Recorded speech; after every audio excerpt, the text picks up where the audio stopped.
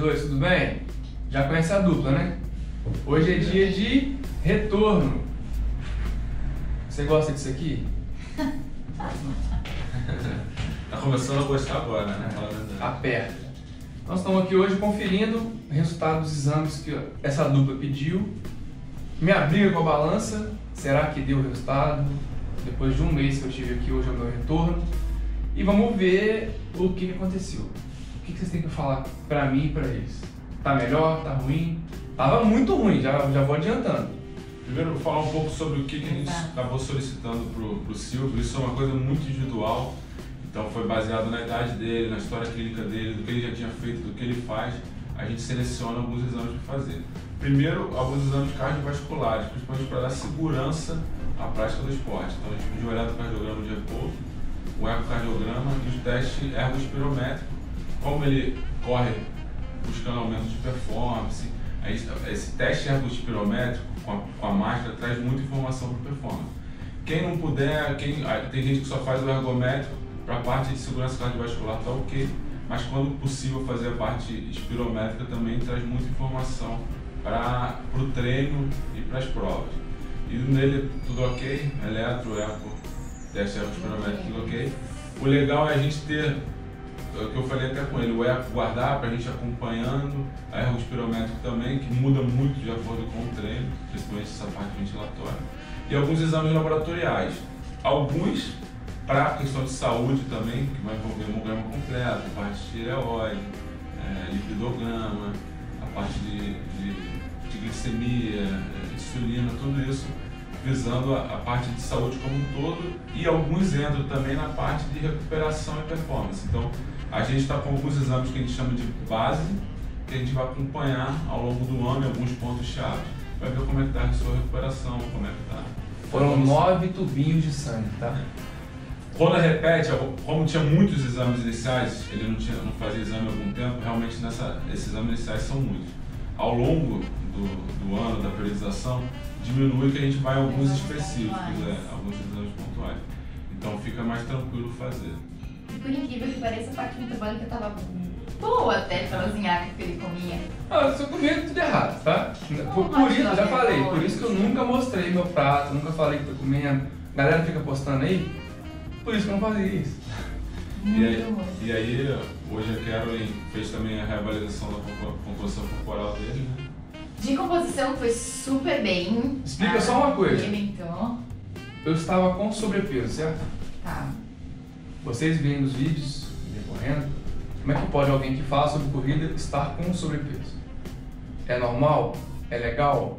Não. Mas é muito aquele efeito que a gente estava até conversando na consulta, aquele efeito compensatório de se permitir comer só porque estou treinando.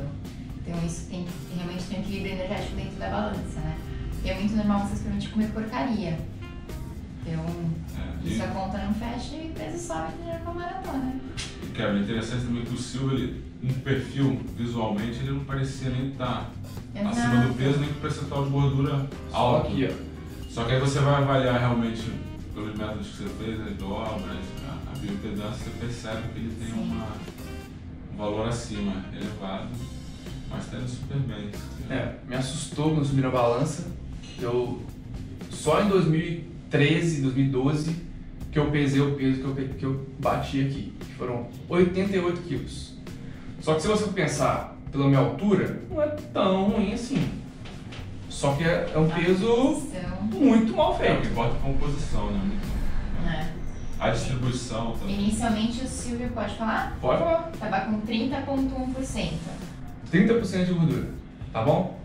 É, agora deu uma melhora excelente, a gente baixou para 24,7% com ganho aí também da massa magra dele, que não é só músculo esquelético, como a gente explicou, se teve uma melhora mesmo da sua estrutura corporal, como glicogênio, massa óssea, se bobear inclusive, e um pouquinho de músculo esquelético você deve ter ganho também, por sorte, porque você não está fazendo nada de recuperação tá física, precisa melhorar isso. Então, acho que é importante que o poderia falar, né, o quanto que realmente quem faz volume em endurance precisa ter uma preparação física muito boa para evitar lesão. Evitar lesão, ganho de performance, tem que fazer o treino que a gente. Musculação, treino de força, treino de resistir, enfim. O treino que envolva sobrecarga de peso para você adaptar a parte óssea, muscular, a suportar a carga e, e, tem uma coisa que a gente chama de economia de movimento.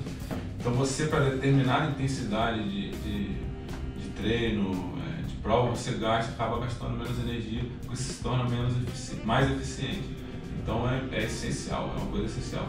Ainda mais você que está fazendo uma dieta pensando em redução de gordura, tudo mais, você tem que ter um treino resistido, um treino de força na sua semana. Isso aí é uma coisa que vai faz essencial, faz diferença.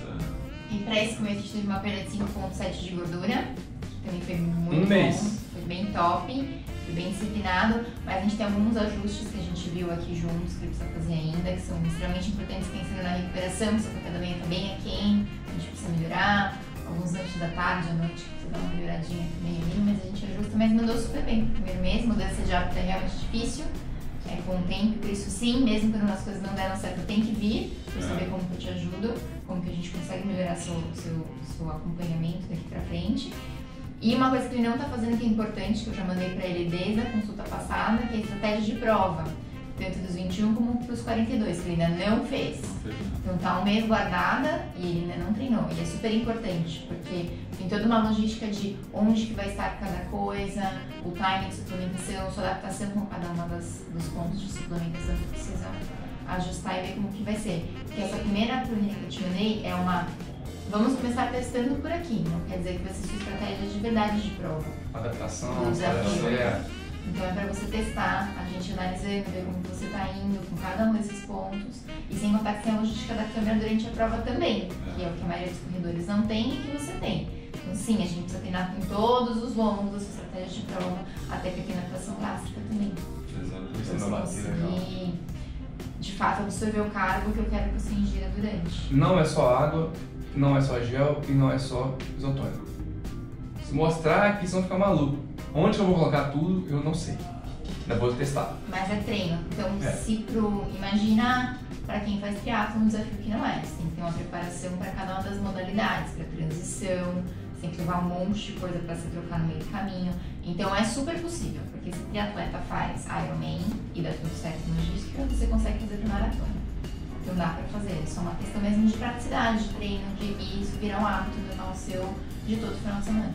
A pergunta é, nesse um mês, quanto de peso eu perdi? De peso de balança não Tava 88. A gente caiu para 84,5. Mas 3,5 kg Peso e gordura mesmo, a gente perdeu 5,7. Tá bom? Que é o que mais importa de verdade.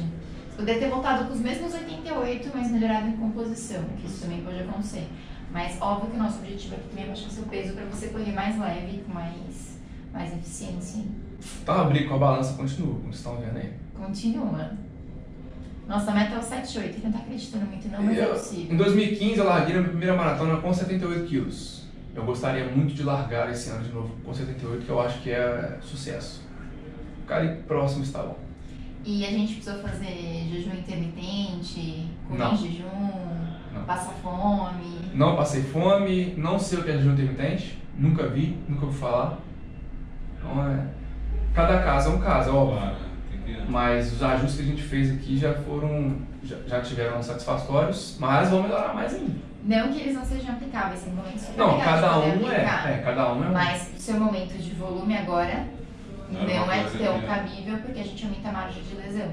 Existem seus momentos certos de se estruturar estrategicamente a dieta. Assim como tem priorização de treino, a dieta periodiza junto. É. Eu acho que eu não conseguiria fazer o jejum intermitente. Eu acho que eu fico muito fraco. Então nós achamos essa forma e está dando certo. Então vamos continuar. Quem consegue fazer, eu, eu admiro muito, porque eu tenho muita fome ao longo do, ano, dia inteiro. Eu como demais, tanto que eu estava pesando isso aí. Agora imagina um jejum intermitente para mim. É, é matar alguém.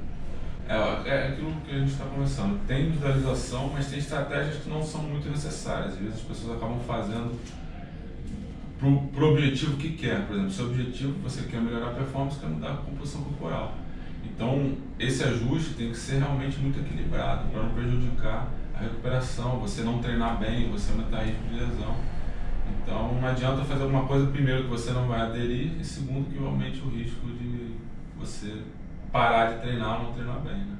Tá aí, ficou a dica? Gostou?